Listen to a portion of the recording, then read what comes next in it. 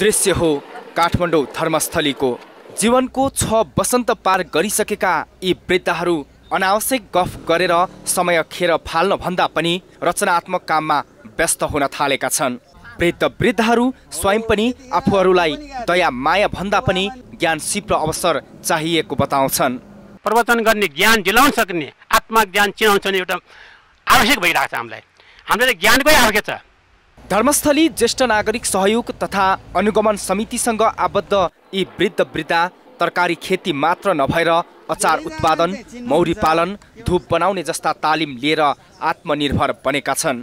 विभिन्न सङ्घ संस्था र युवाहरूको सहयोगले सञ्चालन हुँदै आएको यस संस्थाका वृद्ध वृद्धाहरू पछिल्लो समय मासिक एक सय रुपियाँसम्म बचत समेत गर्दै आएका छन्। वृद्ध वृद्धाको कोषमा अहिले झन्डै चौध लाख रुपियाँ जम्मा भइसकेको छ। हामीसँग अहिले लगभग चाहिँ चौध लाख जति जम्मा भएको छ।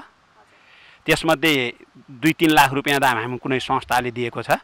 यही नेपाल र चाहिँ हेल्पेज इन्टरनेसनलले अरू चाहिँ हामीले सदस्यहरूबाटै चाहिँ उठाएको छौँ। दुई हजार उन्साठी साल मङ्सिर आठ गते धर्मस्थली ज्येष्ठ नागरिक सहयोग तथा अनुगमन समिति स्थापना हुँदा संस्थासँग पन्ध्रजना मात्र आबद्ध थिए। बुढाबुढीले काम पाएनन् भन्ने गुनासो पनि नआएको होइन। तर अहिले एउटै वडाका दुई सय छब्बिस वृद्ध वृद्धा संस्थामा आबद्ध छन्।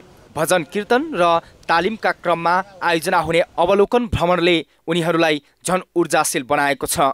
तर संस्थामा वृद्ध वृद्धाको सङ्ख्या बढ्दै गएको र थप कार्यक्रम सञ्चालन गर्नका लागि सहयोग आवश्यक रहेको संस्थाको भनाइ छ।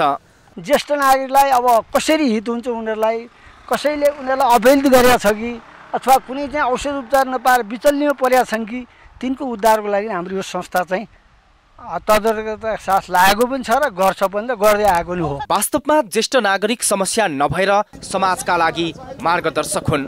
उनीहरूको अनुभव र सिपलाई रचनात्मक कार्यमा लगाउन सके समाज सुसंस्कृत मात्र हुँदैन ज्येष्ठ नागरिकले समेत सम्मानको अनुभव गर्न पाउनेछन्।